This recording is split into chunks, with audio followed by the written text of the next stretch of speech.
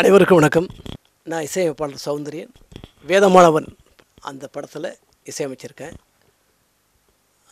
வழக்கமாக எல்லா படத்துலையும் என்ன பண்ணேன்னா நல்ல பாடல்களை தெரிவேன்.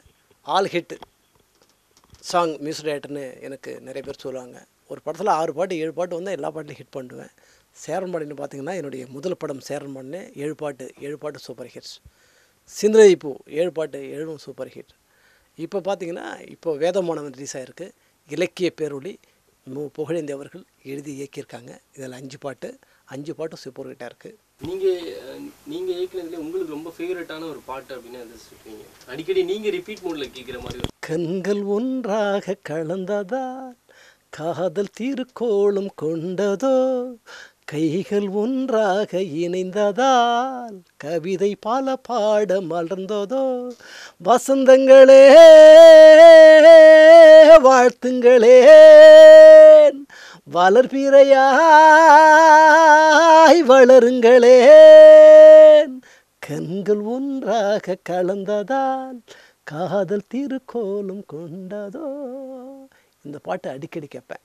ஏன்னா பெரிய ரகலம் கிடையாது. நிறைய காதல்களை இழுத்த டியூனுங்கிறது வேறு. ஆனால் டியூன் கொஞ்சமாக இருக்கும். அதில் அரேஞ்ச்மெண்ட்ஸ் பார்த்திங்கன்னா நிறையா இருக்கும். அஞ்சு நிமிஷம் இந்த பாட்டு வரும். டியூன் பார்த்தீங்கன்னா ஒன்றரை நிமிஷம் தான் இருக்கும். ச இப்போ பல்லவி பாட்டுனீங்களா சரந்திர பார்த்தீங்களா ஒரு கணம் பார்க்க பலகணம் நெஞ்சில் திரைப்படம் பார்க்கிறேன். உயிருடன் நித்தம் உரசிய என்றும் உன்பசம் கலக்கிறேன். பிரிவதும் பின்பு இணைவதும் கடல் அலைகளும் கரையுமாய். பெண்மைதான் தூங்கவில்லையே உந்தன் பித்துதான் அதிகமாய். கண்கள் ஒன்றாக கலந்ததால் காதல் திருக்கோலம் கொண்டதோ கைகள் ஒன்றாக இணைந்ததால் கவிதை பல பாட மலர்ந்ததோ. இவ்வளோ கண்டா இருக்கும் ஆனால் அரேஞ்ச்மெண்ட்ஸ் பார்த்தீங்கன்னா அந்த ஃபீலை லவ் ஃபீலை உணர்ந்து பார்த்தீங்கன்னா ஜிக்கு ஜிக்கு ஜிக்கு ஜிக்கு ஜிக்குன்னு அப்படியே அழகாக போயிட்டே இருக்கும். அதுக்கு தந்தாவில் பார்த்தீங்கன்னா நாகேஷ் சார் பையன் ஆனந்த் பாபு ரொம்ப அருமையாக பண்ணிருப்பார் என் இயக்குனர் கே எஸ் ரவிக்குமார் அருமையாக அதை விஷுவல் ஆக்கியிருப்பார். அந்த வகையில் அந்த வரிகள் எனக்கு ரொம்ப பிடிக்கும். சரி அந்த வரிகள் நமக்கு தான் பிடிச்சிருக்கு எழுதியிருக்கும் பிடிச்சிருக்குன்னு எழுதியிருக்கோம் மற்றவங்களுக்கு பிடிக்குதா அப்படின்னு பார்க்குறப்போ நிறைய ரசிகர்கள் அதுக்கு இருந்தாங்க. முத்துக்குமார் என்கிட்ட பாட்டு எழுத வந்தார். அப்போ அவர் சொன்னார் சார் நான் ஒரு பாட்டு இப்போ கொடுத்தீங்கன்னா எழுதி முடிச்சிட்டேன். ஆனால் எழுது முன்னே எழுதுறதுக்கு வர்றது முன்னாடி எனக்கு பயமாக இருந்துச்சு.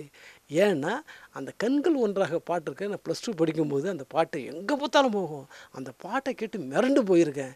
யாரோ ஒரு புது மினிஸ்டர் புதுசாக அவரும் எழுதியிருக்காரு. நல்லா இருக்கிறான்ட்டு ஆயிரம் பேர்கிட்ட சொல்லி சொல்லி அதை அப்போல்லாம் கேசட்டு போட்டு காட்டு போட்டு காட்டு கேசட்டு அதில் தெரிஞ்சிருக்கு அதில் போட்டிருப்பீங்க பிரிவதும் பின்பு இணைவதும் கடல் அலைகளும் கரையுமாய். பெண்மைதான் தூங்கவில்லையே உந்தன் பித்து தான் அதிகமாய் போட்டிருப்பீங்க மிரண்டு போனோம் சார். அதனால் இப்படி நம்ம எழுத போகிறோம்னு நினச்சேன். ஆனால் நீங்கள் வந்தவொடனே ரொம்ப ஈஸியாக அப்படி வாங்கிட்டு என்னை விட்டுட்டீங்க அப்படின்ட்டு ஆச்சரியமாக சொல்லிட்டு போனேன் சாங் இதை கவிஞர்களை மட்டுமல்ல கடைகோடு மக்கள் எல்லாரையும் கவர்ந்த ஒரு பாட்டு. அந்த வகையில் எனக்கு பிடித்தமான பாட்டு அதுன்னு சொல்லலாம். ஸோ ஐம்பது படங்கள் மேலே வந்து இசையமைச்சிருக்கீங்க. ஸோ அதில் வந்து ரொம்ப நீங்கள் ரொம்ப டிஃபிகல்ட்டான ஒரு விஷயம் இருக்கும்ல. ஸோ இந்த படத்துக்காக ரொம்ப மெனக்கெட்டேன் அப்படின்னா எந்த படத்துக்கு மெனக்கெட்டீங்க நான் எந்த படத்துலையும் ரொம்ப மெனக்கெடுறதுலாம் கிடையாது. என்னென்னா எனக்கு வந்து ஃபீலை சொல்லிட்டாங்கன்னா ஒரு சாதாரணமாகவே எனக்கு டியூன் வந்துடும் அடுத்த அஞ்சு நிமிஷத்தில் வந்துடும் மெனக்கெடுறது எது தெரியுங்களா? என்ன ஃப்ரீயாக சார் ஒரு பாட்டுக்கு எவ்வளோ சார் ஆச்சு இவ்வளோக்கான ஆகும். சரி ஓகே அவ்வளோக்கான கொடுத்துறேன் சார். பண்ணிவிடுங்க சார். அப்படின்னா ஒன்றும் பிரச்சனை கிடையாது. அப்போ என்ன பண்ணுவாங்கன்னா சார் எங்கிட்ட இதான் சார் இருக்குது இதான் சார் பண்ணுங்கிறப்போ அப்போ அங்கே தான் மெனக்கெடுவேன். ஏன்னா சம்பளமும் எல்லாருக்கும் நான் கொடுத்தாகணும் பாட்டு நல்லா ஆகணும். என்ன பண்ணுறது அப்போ வர்றவங்கள ஆர்கெஸ்ட்ராலாம் பேசி அப்படி இப்படி பண்ணி அதை நான் போராடி எடுக்கணும். அங்கே தான் எனக்கு சங்கடம் ஏற்படும் மொழியே என்னோடய தொழிலில் எங்கேயுமே நான் சங்கடமோ அல்லது வந்து அதுக்காக சிரத்தையோ நிறைய எடுக்கிறதே இல்லை. எனக்கு பழகி போச்சு இசைங்கிறது. இப்போ நைன்டிஸ் எல்லாமே வந்து உங்களோட சாங்ஸ் வந்து நிறையவே நீங்கள் கொடுத்துட்டீங்க. இப்போ இப்போ வந்து இருக்கிற யூத்ஸ் எல்லாமே வந்து விஜய் அஜித் அப்படின்னாலே பயங்கரமான கிரேஸாக இருக்காங்க. அவங்களுக்கு வந்து இசையமைக்கணும்னா நீங்கள் எந்த அளவுக்கு தயாராக இருக்கீங்க? யாருக்கு நீங்கள் சூஸ் பண்ணுவீங்க அதில்? விஜய்க்கெல்லாம் நான் இப்போ உழைச்சிருக்கேன் பார்த்தீங்களா அதில் டுவெண்ட்டி ஃபைவ் பர்சன்ட் உழைச்சா போதும்.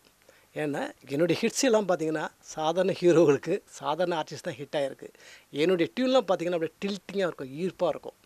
இப்போ விஜய்ங்கிற ஒரு ஆர்டிஸ்ட் பார்த்தீங்கன்னா ஒரு மெகா ஒரு ஈர்ப்புள்ள ஒரு மனிதர். அவர் என்ன பண்ணாலும் ரசிப்பாங்க. நான் ஏற்கனவே நல்ல டியூனை போட்டு ஹிட் பண்ணியிருக்கேன். இப்போ ஒரு சாதாரண ஹீரோனு போட்டால் கூட அவருக்கு ஓஹோன்னு போயிடும். அதில் கொஞ்சோண்டு சிரத்தை எடுத்து போட்டேன்னா என்னோடய டியூன் எல்லாமே டில்ட்டிங்காக இருக்கிறதுனால அவர் அதில் நடிக்கிறதுனால இப்போ என்னென்ன பாட்டுக்கெல்லாம் அவர் பாட்டு ஹிட் ஆகிட்டுருக்கோ அதை விட ஆயிரம் மடங்கு நூறு மடங்கு மேலே என் பாட்டு அவரோட சேர்ந்தால் ஹிட் ஆகும். சரி இன்றைய தலைமுறை பார்த்தீங்கன்னா நிறைய மியூசிக் டைரக்டருக்கு அப்கமிங் வந்துகிட்டே இருக்காங்க. ஸோ அவங்கள்ட்ட நம்ம காம்படிட் பண்ணும் அப்படின்னும் போது ஸோ அது எப்படி இருக்குன்னு நீங்கள் ஃபீல் பண்ணுறீங்க இப்போ வர்றவங்கெல்லாம் நிறைய வர்றாங்க. ஆனால் ஒரு ராகத்தை தழுவி அல்லது ஒரு ஃபீலை தழுவி டியூன் போட தெரியல. வட்டார மொழியில் வர்ற பாட்டுகள் தான் அவங்க என்ன போட்டாலும் வட்டார மொழியில் வருது பார்த்தீங்கன்னா பாட்டு? தன்னா தன்னா இதெல்லாம் நிறையா வாட்டி தன்னா நன்னா தானே அது போல். அப்புறம் பார்த்தீங்கன்னா அண்ணா தந்தா ஏ தந்தா இப்படி. அப்புறம் நீல வண்டி வரும் வண்டி இல்லை இதுதான் ஹிட் ஆயிருக்கு. அவங்க டியூன் போட்டு புதுசாக கண்டுபிடிச்சி எதுவுமே வர்றதே கிடையாது. இப்போ வர்ற இளைஞர்கள்லாம் டியூன் அடிப்படையில் போடுறதே இல்லை. டியூன்னா என்ன அப்படின்னு தெரியாமல் கம்முன்னு இருந்துக்கிட்டு ஏதோ சூழ்நிலைக்கு என்ன கிடைக்குதோ அதை அப்ளை பண்ணி வாச்சாம் போச்சான்னு ஹிட்டானா உண்டு இல்லைன்னா இல்லை அப்படின்னு மிஸ்டர் ஆகிட்டாங்க இப்போ இந்த ஜென்ரேஷனில் நிறைய மியூசிக் டைரக்டர்ஸ் வந்துட்டு இருக்காங்க. ஸோ இதில் வந்து உங்களுக்கு பிடித்தமான ஒரு மியூசிக் டைரக்டர்னு யாரை சொல்லுவீங்க? எனக்கு வந்து இப்போ பிடித்தமான மியூசிக் ரைட்டர்னு எனக்கு யாரும் இப்போ சொல்கிறதுக்கு நிறைய பேர் பண்ணிக்கிட்டு இருக்காங்க. அதை வரவேற்கணும். ஆனால் ஒரு தனித்தன்மையாக ஒரு ராகத்தின் அடிப்படையில் டெல்ட்டிங்காக ஈர்ப்பாக ஒரு உணர்வோடு உள்ளவங்க இப்போ கண்டுபிடிக்க வேண்டியா இருக்குது அதில் பார்த்தீங்கன்னா எனக்கு வந்து பரத்துவாஜிங்கிறவர் நல்லா ஃபீல் பண்ணுவார். ஒரு ஃபீல் பண்ணக்கூடிய ஒரு இசையம்பாளர் அவர் எனக்கு தனிப்பட்ட முறையில் நல்லா பிடிக்கும். ஸோ உங்கள் பீரியடில் இருக்கும்போது நீங்கள் யாராவது காம்படிட்டராக நினச்சிருக்கீங்களா? யாருமே கம்பெனி நினைக்கவே இல்லை. எல்லாரோட நான் பெரிய ரைட்டர் தான் நினச்சேன். ஸோ உங்களுக்கு இவ்வளோ கான்ஃபிடென்ஸ் வர்றதுக்கு முக்கியமான ஒரு காரணம் இனிஷியல் ஸ்டேஜில் எது சார் என்னை வந்து நான் வளர்த்து வச்சுருந்தேன். மற்றவங்களோட கம்பேர் பண்ணி பார்த்தேன். அடுத்த பாட்டோட எம்எஸ்வியா அவர் பாட்டோட நம்மளது நல்லா இருக்கா? காதல் கடிதம் அதை அப்படியே அப்ளை பண்ணி பார்ப்பேன். எம்எஸ்வி பாட்டில் அப்படி ஒன்றும் வரலையே. அப்புறம் அதே பாட்டு சம்பா நாத்து அவருடைய கிராமத்தை அப்படியே அப்ளை பண்ணி பார்ப்பேன் இல்லையே இதை தாண்டி இல்லையே சின்னத்தங்கம் எந்தன் செல்லத்தங்கம் ஏன் கண்ணு அவரோட தங்கச்சிக்காக என்ன போட்டிருக்காரு? மலர்ந்து மலராத பாதி மலர் போல நாம் தங்கச்சி என்ன போட்டிருக்கோம்? சின்னத்தங்கம் நல்லா தானே இருக்குது அப்படி கம்பேர் பண்ணிருக்கேன். ஆக என்ன மிஞ்சி ஒரு மியூசிக் நான் அப்போ எதிர்பார்க்கவே இல்லை. அப்படி நினச்சிருந்தாலும் மியூசிக் யாருக்க மாட்டேன் ஸோ அந்த ஊருக்கு ஊருக்குலாம் போகும்போது பஸ்ஸில் பார்த்தீங்கன்னா உங்களோட சாங்லாம் கேட்டிருக்கீங்க. நாங்கள் நிறைய கேட்டிருக்கோம். ஸோ அந்த மாதிரி ஒருவேளை உங்களுக்கு வாய்ப்பு கிடச்சுன்னா நீங்கள் கேட்டீங்க அப்படின்னா எப்படி இருக்கும்? அந்த ஃபீல் எப்படி என்ஜாய் பண்ணுவீங்க? எனக்கு சந்தோஷமாக இருக்கும். அதை விட நான் நிறைய வாட்டி கேட்டிருக்கேன். எனக்கு ரொம்ப சந்தோஷமாக இருக்கும். பணம் நிறைய இல்லை. புகழ் நிறையா இல்லை. அப்படின்னாலும் நாம் என்ன படைப்பு நம்ம கொடுத்தோமோ அது எங்கே பார்த்தாலும் நாம் நினச்சது போல் ஒழிச்சிக்கிட்டு இருக்குது அது போகிறோம் அதுவே எனக்கு சம்மந்தான் அப்படிங்கிற மாதிரி போயிட்டு இருப்பேன். ஸோ இதுக்கப்புறம் என்னென்ன படங்கள்லாம் சார் கையில் வச்சுருக்கீங்க? இதுக்காக அடுத்தது வந்து பார்த்திங்கன்னா லைக் பண்ணுங்கள் ஷேர் பண்ணுங்கள் அது நல்லா படம் வந்திருக்கு. அருமையான டெ டெக்னீஷியன் அதில் வந்து டைரக்டர் வந்து சத்யசீலன் ரொம்ப அற்புதமான குணம் வாய்ந்தவர் அற்புதமான படைப்பாளி நல்ல எடிட்டிங் சென்ஸ் உள்ளவர் நல்ல படத்தை இயக்கியிருக்காரு. அதில் ஒரு புது விஷயம் என்னென்னா நானே ஒரு பாட்டு ஒன்று அதில் பாடியிருக்கேன். என்னுடைய சொந்த வாய்ஸில் குத்தாட்ட பாட்டு கும்மாலம் போட்டு எடுத்து விடலாமா? தப்பாட்ட அடிச்சு தாளத்தை மாற்றி தாறுமாறு செய்யலாமா? தன்னந்தனியே ரெண்டு பேரும் ஒன்று என்று ஆகலாமா? தாலி கட்டும் உன்னதாக தண்டாண்டாண்டாண்டாண்டா அப்படின்னு ஒரு பாட்டு பாட்டிருக்கேன் அது சூப்பர் ஹிட் ஆகும். வேதமானவன் படத்தில் ஐந்து பாடல்கள் அற்புதமாக வந்திருக்கிறது. நான் சொல்லக்கூடாது. இருந்தாலும் நான் சொல்லி ஆகணும் முதல்ல. இலக்கிய பேரொளி மு. புகழேந்தி அவர்கள் எழுத்து இயக்கம் என்று அந்த படத்தினை தீட்டியிருக்கின்றார்கள். இதில் எல்லா பாட்டுமே சூப்பர் ஹிட்டாக இருக்குது ஒரு பாட்டு கானா பாட பாடியிருக்காரு. எல்லாருக்கும் நல்ல காலம் இருக்கு. இது இறைவன் எழுதி வச்ச கணக்கு. நல்ல காலம் பிறந்தது நமக்கு. இனி கவலைகள் என்பது எதுக்கு? எல்லாருக்கும் எல்லாமுமே கிடைக்கும். நம்ம ஏக்கம் எல்லாம் காத்தோடு பறக்கும். நம்ம ஏக்கம் எல்லாம் காத்தோடு பறக்கும். பறக்கும். பறக்கும். எல்லாருக்கும் நல்ல காலம் இருக்கு. இது இறைவன் எழுதி வச்ச கணக்கு அப்படிங்கிற பாட்டை முதல் முதலாக கொடுத்தாரு நமது இந்த படத்தினுடைய இயக்குனர் பாடலாசிரியர் தயாரிப்பாளர் இலக்கிய பேரொளி மு. புகழேந்தி அவர்கள். இந்த பாட்டும் பார்த்தீங்கன்னா ஏற்கனவே என்னுடைய ஹிட்டு பாட்டு நிறையா இருக்குது இப்போ சமீபத்தில் பார்த்திங்கன்னா ஒரு பாட்டு சூப்பர் ஹிட் ஆகிருக்கு அத்தாடி இந்த உடம்பு? அட அங்கங்கே பச்சை நரம்பு. இந்த பாட்டு நட்பே துணைங்கிற படத்தில் நண்பர் ஹிப்ஹாப் தமிழ் அவர்கள் ரீமிக்ஸ் பண்ணிருக்காங்க. ரொம்ப நல்லா இருக்குது இந்த பாட்டு பார்த்திங்கன்னா ஏற்கனவே நான் வந்து என்னுடைய அந்த அந்த இந்தியன் அக்கோஸ்டிக்கை வச்சு நான் பண்ணியிருப்பேன் இப்போ வெஸ்டர்னில் அவர் பண்ணியிருக்காரு ஏற்கனவே பார்த்தீங்கன்னா நட்சத்திரம் நட்சத்திரம் நட்டு வச்ச கண்ணு. என் கண்ணு என் கண்ணு. முத்துச்சரம் முத்துச்சரம் கொட்டி வச்ச பல்லு. ஏனில்லு பதில் சொல்லு. கோளாறு தங்கம் எல்லாம் உன் கன்னத்தில் ஒட்டிக்குச்சா? பாலாறு மொத்தம் வந்து உன் பருவத்தில் கொட்டிக்குச்சா? இப்போது பாவாட இப்போது மேலாட. அத்தாடி என்ன உடம்பு? அட அங்கங்க பச்சை நரம்பு. ஐம்பொன் நாள் செஞ்ச உடம்பு. அதன் அடையாளம் சின்ன தழும்பு. இப்படி வர்ற என்னுடைய ஸ்டில் பாடலில் இந்த படத்தினுடைய அதாவது வேதமானவன் படத்தினுடைய பாடல்களும் கண்டிப்பாக இடம்பெறும் சூப்பர் ஹிட் ஆகும் இன்னைக்கு இருக்க யூத் வந்து இதை பார்க்க போகும்போது இந்த சாங்லாம் வந்து இவ்வளோ ஹிட் சாங்லாம் வந்து இருந்துருக்கான்றப்ப மைண்டில் எப்படி டிஸ்டர்ப் ஆகும்? அதுக்காக தான் ஒரு ரிமைண்டுக்காக அந்த ஒரு நான் இந்த படத்தில் வந்து புதுசாக ஃபார்முலா எதுவுமே நான் ஃபாலோ பண்ணல. சேரன் பாண்டியனில் நான் வரும்போது என்ன ஃபார்முலா எடுத்துக்கிட்டேன்னா உணர்வு எடுத்துக்குவேன் ராகத்தை எடுத்துக்குவேன் வார்த்தைகள் எடுத்துக்குவேன். அதுதான் இதில் பண்ணியிருக்கேன். அதுபோல் அப்போல்லாம் பார்த்தீங்கன்னா உணர்வுபூர்வமான பாடல்னு பார்த்தீங்கன்னா சின்னத்தங்கம் எந்தன் செல்லத்தங்கம் ஏன் கண்ணு கலங்குது? எதை எண்ணிக்கொண்டு இந்த அள்ளித்தண்டு மனமும் இவருந்தது? நீ துள்ளி வரும் மானினத்தின் தோழியடி. சிறு துன்பம் என்றால் எந்த நெஞ்சில் காயமடி? ஒரு தங்கச்சிக்கான ஃபீல் இந்த படத்தில் பார்த்தீங்கன்னா ஒரு அம்மாவுக்காக ஒரு ஃபீல் போட்டிருப்பேன். அங்கே என்ன ஃபீல் பண்ணணும் அதே மாதிரி தான் இங்கேயும் ஃபீல் பண்ணிருப்பேன். அம்மா செல்ல அம்மா என் ஆவியே நீதானே அம்மா. அம்மா செல்ல அம்மா என் அகிலமே நீதானே அம்மா. பொல்லாத சொல்லாலே உன்னை வதை செய்து பார்த்தார்கள். பொன்னானையின் தாயே நீயும் பொறுக்காமல் மாய்ந்தாயே. அம்மா செல்ல அம்மா என் ஆவியே நீதானே அம்மா. அம்மா செல்ல அம்மா என் அகிலமே நீதானே அம்மா. அம்மாக்காரவங்கள தன்னுடைய அம்மாவை ஒரு ஃபங்க்ஷனுக்கு போவாங்க. பையனும் கூட போவான் ஆறு வயசு பையன். சி ஒரு நகை கிடையாது நெட்டு கிடையாது ஒன்றும் இல்லாமல் கல்யாணத்துக்கு நானும் வரணும் வந்து காரில் உட்கார புரியடி அப்படின்னு கேவலமாக பேசினோடனே நாம் இப்படி இருக்குமா? அப்படின்னு ஃபீல் பண்ணுறப்போ இன்னொரு வார்த்தையை அவங்க சொல்லுவாங்க. முண்டச்சி போல் வந்துட்டியாடி. அப்படின்னு சொன்னோடனே கட்டின கணவன் வீட்டில் இருக்கும்பொழுது உயிரோடு இருக்கும்பொழுது நம்மளை முண்டச்சின்னு சொல்லிட்டாங்கல்ல. இன்னுமே என்ன இருக்குது அப்படின்ட்டு வருவாங்க செத்துருவாங்க. பையன் அலங்கோலமாக ஆகிடுவான் அப்போ இந்த ஃபீல் வரும்ல? அப்படி தான் ஃபீல் பண்ணியிருக்கேன். புதுசாக ஒன்றும் இல்லை ஆனால் பார்க்குறவங்களுக்கு அது புதுசாக தெரியும். அதே போல் தான் காதல் பாடலாக இருக்கட்டும். அப்படி தான் பண்ணியிருக்கேன். குத்து பாட்டாக இருக்கட்டும். காதல் பாட்டுன்னு இதில் பார்த்தீங்கன்னா நான் போடும்போது சிந்தனை போல் ஒரு பாட்டு போட்டிருப்பேன்.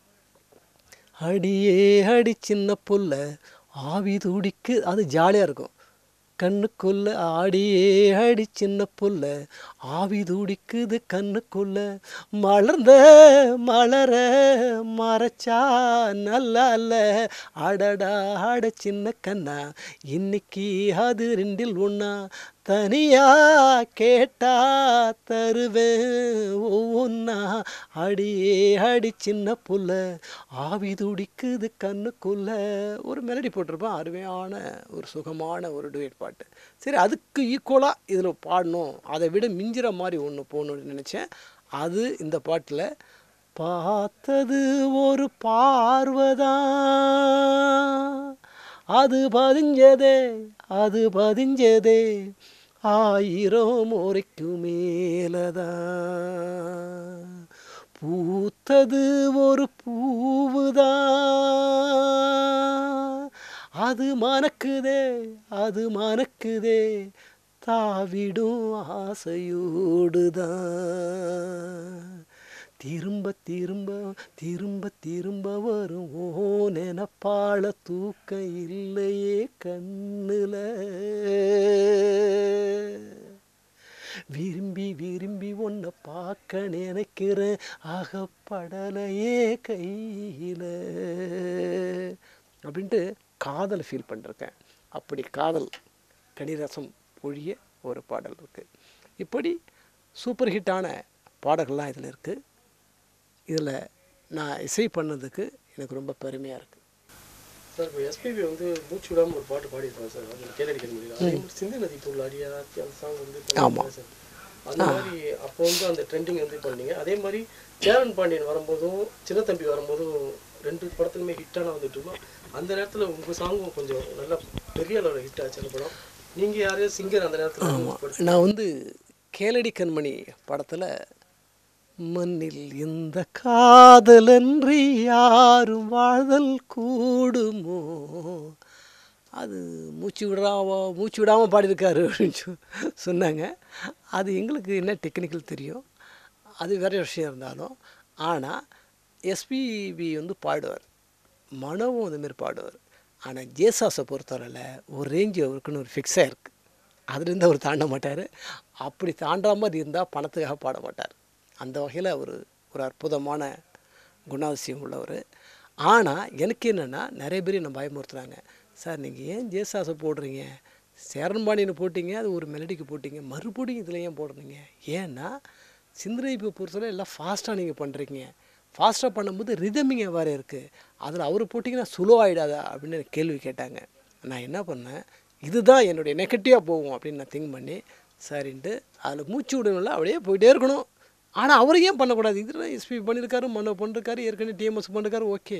தேசாஸ் ஒரு வளமான வாய்ஸு. ஏன் பண்ணக்கூடாது அப்படின்னு நினச்சேன். பண்ணிட்டு தான் ஆத்தி வாடையில் அப்படின்னு போட்டிருப்பேன். அது பின்னால் இருக்கணும் ஆத்தி வடையில் பட்ட மரம் கொடையில் கொழுந்து விடாத. அடி போடி. முள்ளுக்குள்ள போட்ட வேத முட்டி முட்டி முளைச்சி விடாத. ஆக்சுவலாக ஆறு பார் போகும். அது என்ன பண்ணிட்டேன்? சரி அவருக்காக வேண்டி அந்த அளவுக்கு போகலான்னு குறைச்சாச்சு. அங்கே அவரை பாட வைக்கிறப்போ என்னாச்சுன்னா இல்லைங்க அவர் பாடு பாட மாட்டார் திரும்பி போயிடுவாருன்னு சொன்னாங்க. சரின்னு பார்த்தேன். எல்லாருக்கும் நான் இன்ஸ்ட்ரக்ஷன் பிரசாத் தான் ரெக்கார்டிங் பாண்டு தான் இன்ஜினியர் சார் அவன் என்ன சொன்னேன்னா அவருக்கு நான் பாட கற்றுக் கொடுக்குறப்போ யாரும் கிட்ட இருக்காதீங்க. ஏன்னா சில பேருக்கு அது வந்து விரும்புவாங்க சில பேர் விரும்ப மாட்டாங்க. இல்லை ஒரு சின்ன பையன் நமக்கு சொல்லிக் கொடுக்குறான். இவனை போயிட்டு மெனக்கெட்டு பாடணுமா? அப்படின்னு எண்ணம் வந்ததுன்னா ஒன்றும் பண்ண முடியாது. அதனால் யாருமே கிட்ட இருக்க வேண்டாம். தலையை காட்டாதீங்கன்னு சொல்லி எல்லாரையும் அனுப்பிட்டேன். ரூமில் நாங்கள் மட்டும் தான் இருந்தோம். நான் பாடி காட்டினேன் நான் நினச்ச மாதிரியோ மற்றவங்க நினச்ச மாதிரியோ இல்லை. அவர் நான் பாடி காட்டின உடனே அத்தி வாடையில் பட்ட மரம் கோடையில் கொழுந்து விடாத அடி போடி. முள்ளுக்குள்ள போட்ட முட்டி முட்டி மோலச்சி விடாத.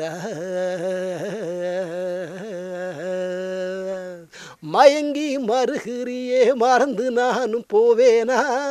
மலையே நாராக்கி மாலை கட்ட மாட்டேனா? இப்படி ஃபுல்லாக கால பாடினோடனே எங்கே பார்த்தாலும் பார்த்தீங்கன்னா தாலாட்டுறாப்புல டங்கு டங்கு டங்கு டங்கு அப்படியே எம்பி எம்பி குச்சி போகிற மாதிரி இருக்கும். ஒரு ஒரு சின்ன முயல் குட்டி கூச்சி போனால் அப்படி இருக்கும். அப்படி இருந்தோன்னே அவர் பாட்டு ரசிக்க ஆரம்பிச்சார். மறுபடி நல்லா பாடுங்க நல்லா பாடுங்க நல்லா பாடுங்க நம்ம பாடி காட்டி பாடி காட்டி பாடி காட்டி அப்படியே ஆறு ஆறு மணிச்சு வாச்சு வாச்சு வாச்சு பாடி காட்டினேன். ரொம்ப நல்லா இருக்குது அப்படின்ட்டாரு. அப்புறம் பாடலான்னு போனோம். சரணத்துக்கு வந்தோம். சரணத்துக்கு வர்றப்போ அங்கே தான் ஒரு கண்டம் இருக்குது என்னதான் உறவு இருந்தாலும் ஒன்னதான் நினைக்கிற. இருந்தும் உசுறு இல்லாம என்னவோ இருக்கிற. தங்கமே உன்னை எண்ணித்தானே தனியா தவிக்கிற. தரையில துடிக்கிற மீனை தண்ணிக்குள் இழுக்கிற. பொட்டு வச்ச குமரி பண்ணே கேளடி. நீ எட்டு வச்சாய் மயமால ஏழடி.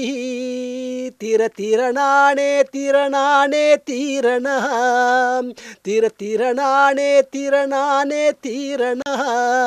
அடி அழற பொண்ணே கொஞ்சம் சிரிச்சு போடு. அந்த சிரிப்புக்குள்ள துன்பம் எரிச்சு போடு.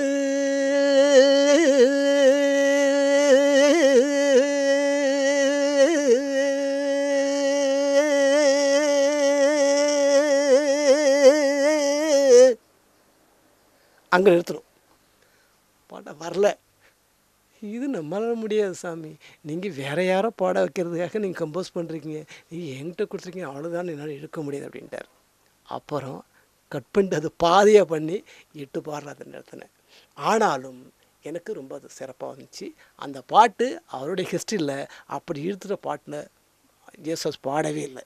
அந்த வகையில் நான் ஒரு அந்த அந்த இதில் ஒரு ரெவல்யூஷன் பண்ணியிருக்கேன்னு சொல்லணும் அப்படி தான் அந்த பாட்டு வந்துச்சு. மதிப்புக்குரிய இலக்கிய பேரொளி மு. புகழ்ந்தவர்கள் எழுதி இயக்கிய வேதமானவன் திரைப்படம் நாளைக்கு வெளிவருது. அதில் நான் இசையமைச்சிருக்கேன். இந்த படமானது மாபெரும் வெற்றியை ஈன்றெடுக்க என் வாழ்த்துக்களை தெரிவித்துக் கொள்கிறேன். ரசிக பெருமனுக்கு அனைவருக்கும் என் இனிதான நன்றி.